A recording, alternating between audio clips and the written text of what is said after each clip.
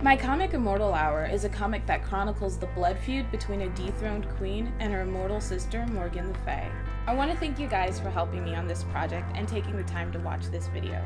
It means a whole lot to me, and I've been working on Immortal Hour for, I guess, about a couple of years now. I'm so excited to bring this project to you guys, and every little bit that you do helps me to make that dream a reality. I'm ecstatic about this, and as you know, the comic is already launched, so some of it is actually already re- available for you to read.